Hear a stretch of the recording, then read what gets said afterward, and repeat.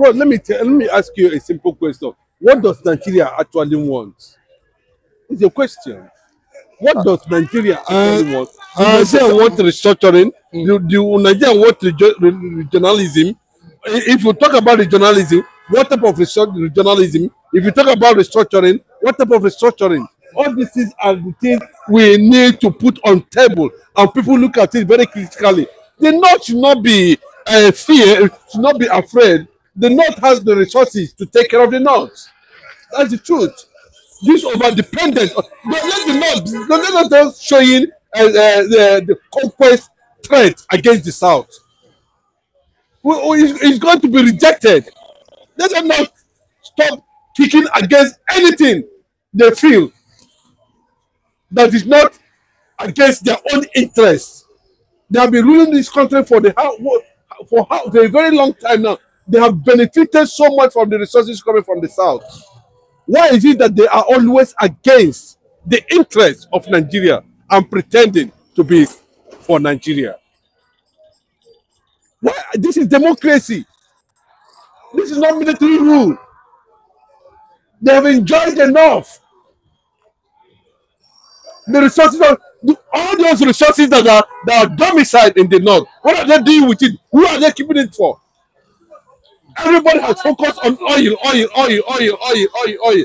And look at the level of devastation that has continued to take place in those areas. How are we going to explain that? Nigeria has several on several occasions been given an option, been given option of unity. And why are they kicking against it? The constitution we are operating today was uh, smuggled to us by uh, foreigners. Nigerians have not come out to sit down and say these are the rules and regulations of how we want to be governed. How do we handle that? How do we explain that? At every slanted thing, they shut it down. I, see, I can see the reason why you know I did not manipulated uh, uh, uh, Tinubu and gave him somebody like uh, Shettima, so most of these policies can thoroughly be opposed. We saw what happened during uh, uh, uh, uh, Buhari, how he introduced so many Fulanization agenda that was rejected entirely by the South and the Middle Belt. If not today, maybe all of us will be running away from our respective communities or, there, or. What is the big deal about restructuring? Why is the North afraid of restructuring? Why are they bent on destroying the resources of the southern Nigeria? Even though the southern Nigeria have given so much to the North. In terms of human resources, in terms of resources, in, in terms of uh, uh, commercialization, in terms of human capital, everything the North has taken from the South. And the South have never taken anything from the North. Now we are saying, let us have these things, you know, let us have these things uh, uh, uh, like this, let us go this way, let us have this direction and all that. You know, let us go this way at least, and let us sit down and know how we are going to do this. Uh, to avoid this, let us do this. And you're saying no. Now, look at the response coming from uh, the Senate over the issue of open grazing bill where the Senate President, Godswill Akpabio, came out publicly and condemned, and he made it very clear that cows are not Nigerian citizens. Cows are not Nigerian citizens. They can be ranked. Cows can be ranked. Why are they bent on making sure that the cow roam the street, roam, destroy farmland, destroy people's means of livelihood, don't do a lot of damage? Why would they be accepting that kind of you know uh, uh, uh, agenda in 21st century? Are we not a nation of interest? Are we not a nation that want to move forward? Are we not a nation that want to lead? Why is it Nigerian decided not to work for the country? Why has the country decided to work to work against Nigeria themselves? Why is the leadership of this country so full with you know irresponsibility? Why is it there's no government in Nigeria? Why is, is it a crime? Is it a murder that Nigeria must stay together? Why is it that anything that will make Nigeria to work, the North is always kicking against it?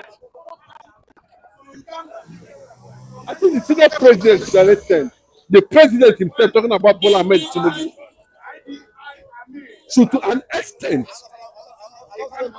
resist this continual decided threat against the unity of this country by the Northerners, especially the Northern senators, Northern politicians. Why can't we have restructuring in Nigeria? Why can't we restructure? Why are they kicking against it? Why are they still uh, uh, uh, of the opinion that the, the, the, their have every right to run the streets and destroy people's farmland and mission? And anybody who's going to stop, stop, uh, stop, stop them will pay with their blood. Is it what is happening in other countries? Is it what is happening in other states? Yes. You understand? Is it that's not that is not that is not what I'm saying. You understand? So so what, what I'm saying is this is that it's important that we begin to understand these things very clearly and the government to be able to begin to see uh, certain things uh, come to a particular direction where we begin to understand the way forward at the end of the day.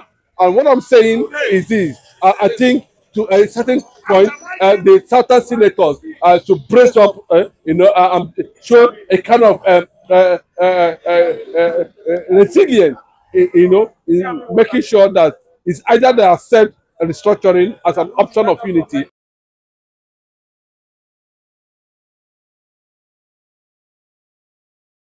No, you see, it may be how people understand it. Everybody has his own view, and everybody has his own understanding to interpret whatever anybody said. Um, therefore, to my own understanding, Biafran Defense Force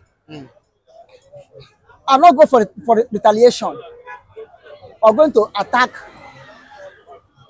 Nigerian army. Although Nigerian army are the invaders, they are the aggressors. But to, to my own understanding, Biafra resistance, Biafra Defense Force are going to defend the land and defend the people, not to attack.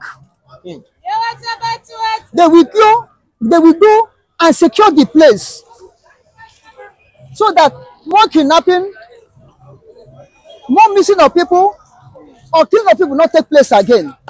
And if there's any way, they will look for that 300 people that are missing to get them, whether they're dead body or whether they're alive, get them alive. They will do it.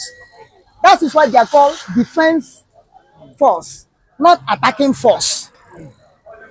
So they will deploy in Abia to defend the entire land of Abia state. That's my own understanding. But in the process of defending, if you come to my house, pursue me, come to my area, pursue me, I run, I enter my house, and you pursue me to enter my house. I have nothing to, to do with you than to engage you. But in that engagement, one may survive, one may lose. You understand what I'm saying? So that's what will happen there.